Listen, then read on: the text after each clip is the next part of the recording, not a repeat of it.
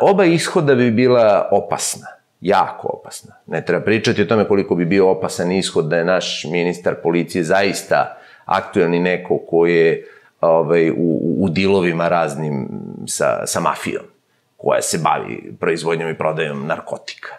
S druge strane, bilo bi opasno i ako je ova druga verzija koja se sugeriše onako od, od, od strane vlasti, da je to izmišljotina, nečija, jer onda se postavlja pitanje zašto i čija, ko, s kojim ciljem to izmišlja. Međutim, mi kao što vidimo, mi odgovora nemamo. Mi imamo svaki put to prepušteno tako da se odvija dalje bez ikakvog odgovora. Kao što podsjećam i, i, i ona zaista zastrašujuća epizoda gde su se najviši državni činovnici preko medija optuživali za teška krivična dela gde, gde su jedan je član ovog klana, drugi je član ovog klana, pa onda jedni drugima šalju poruke i tako dalje i tako dalje.